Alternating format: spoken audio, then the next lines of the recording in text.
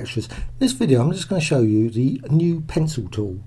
And the fact with the pencil tool in 17.1 version of Illustrator that you can actually now close a path which is quite nice. So just going to quickly draw, I'm using a mouse so it's not the greatest of, of lines but I'm just going to quickly just draw that. And now if you just go to this end point just you can just go there just go across and you will see that's it just comes up just go to the end point and now there you have it. You've actually got a closed path. Very quick and easy way of creating many different designs. Now just quickly show you this is a path I created earlier an arc path and you can do the same. You just go to the pencil tool and just select there and just go across and there you have it.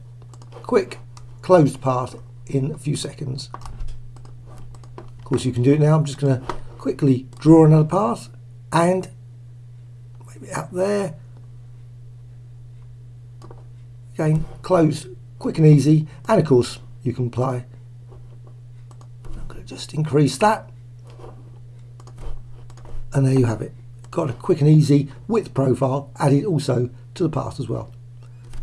It's a great new feature of Illustrator 17.1. Hope you found this of interest.